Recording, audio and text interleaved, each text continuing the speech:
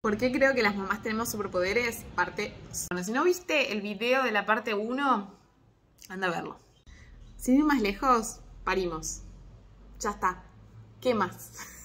¿Qué más querés? Parimos. Parimos. Sale un bebé de nuestro, de adentro nuestro. ¿Qué?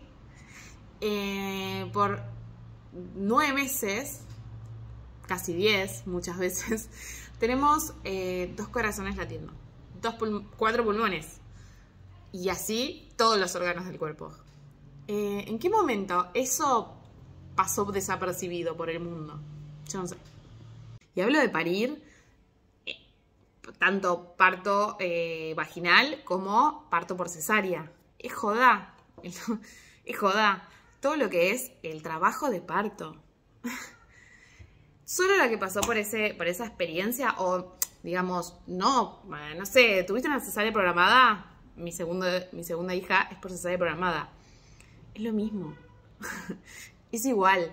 El flash de decir, estoy normal y a, las 4 de la tarde vas a tener un bebé. ¿En qué momento eh, tu psiquis sigue igual? ¿De verdad? ¿Podemos seguir igual después de eso?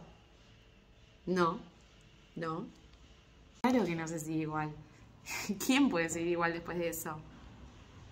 Ponele que la química de tu cerebro no cambie, ¿listo? No cambió después de trabajo de parto, después de todo un, de, nueve meses de constantes cambios. Listo, estás igual.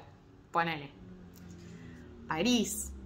Y a las horas te tenés que levantar te abren la panza, las horas tenés que caminar. Y antes que eso, me estoy yendo por las ramas, antes que eso, al instante en que nace un ser de adentro tuyo, ya lo tenés que atender. Sea, para toda la vida lo tenés que atender. No tenemos bebés, tenemos seres humanos, para siempre. Si eso no es tener superpoderes, yo ya no sé. ¿Qué es tener superpoder?